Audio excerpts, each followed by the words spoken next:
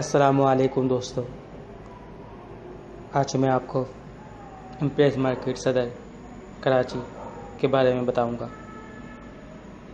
पहले के ज़माने में इम्प्रेस मार्केट बहुत ही खूबसूरत हुआ करती थी लेकिन वक्त के साथ साथ कब्ज़ा माफिया ने यहाँ पे कब्ज़ा करके एक्स्ट्रा शॉप और जगहों पर कब्ज़ा कर लिया और लोगों को किराए पे दे दी और कुछ लोगों को सेल कर दी।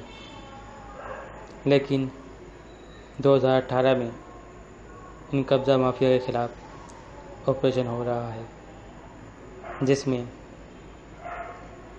तमाम वो एक्स्ट्रा दुकानें जिन पे कब्ज़ा हुआ होता है उनको हटा दिया गया है। फ्यूचर में प्रेस मार्केट बहुत खूबसूरत नज़र आएगी, जैसा कि आप पहली तस्वीर में देख सकते हैं कि उसका फ्यूचर बहुत शानदार है। इधर काफ़ी सारे दरख्त लगाए जाएँगे और इलाके को साफ़ सुथरा कर दिया जाएगा, जिससे ट्रैफ़िक में बहुत आसानी हो जाएगी। अक्सर ट्रैफ़िक जाम रहता है इम्प्रेस मार्केट का। उसमें बहुत कमी आ जाएगी और ट्रैफ़िक जाम नहीं होगा। रोड चौड़े होने की वजह से, जैसे पहले के ज़माने में, सन 1945 में सदर के रोड बहुत चौड़े हुआ करते थे। जैसा कि आप तस्वीर में देख सकते हैं।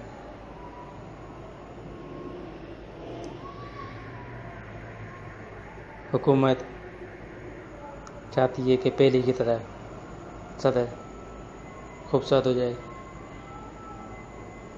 ताकि लोग यहाँ पे आसानी से शॉपिंग कर सकें। सदर में इम्प्रेस मार्केट में एनिमल्स और बर्ड्स भी सेल होते हैं। और बच्चों के खिलौने की बहुत शानदार दुकानें हैं यहाँ पे। यहाँ पे लुंडा का सामान भी बहुत अच्छा मिलता है। बहुत ही सस्ते में यहाँ पे मिल जाता है सामान। हम तो ये चाहते हैं कि पाकिस्तान की तरक्की हो। कराची, जो रोशनों का शहर है, वो और रोशन हो जाए।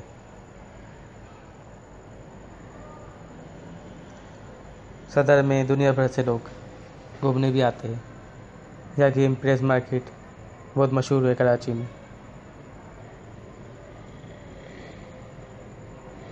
तकरीबन हर चीज़ यहाँ पे मिल जाती है। सदर की मार्केट में। अक्सर लोग सदर घूमने आते हैं।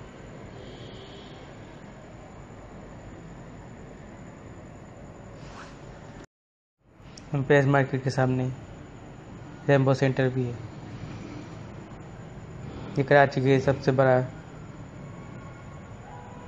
सीढ़ियों का बिल्डिंग से मशहूर है। रेम्बो सेंटर यहाँ पे दुनिया भर की सीढ़ियाँ मिल जाती है। या को मूवी डब करानी हो, या सीडी में कन्वर्ट करना हो इधर टॉयज़ की शॉप भी खुल गई है अब, और कपड़े भी मिल जाते हैं। कपड़ों की शॉप भी है रेम्बो सेंटर में।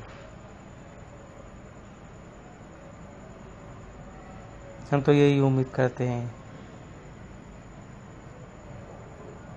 कि सदर पहले से भी ज़्यादा खूबसूरत हो जाए। ताकि लोग आसानी से घूम सकें।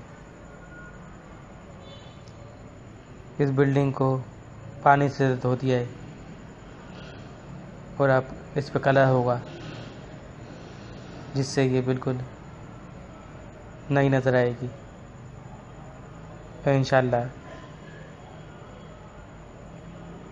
बहुत खूबसूरत हो जाएगी। काम बहुत तेज़ी से आगे बढ़ रहा है।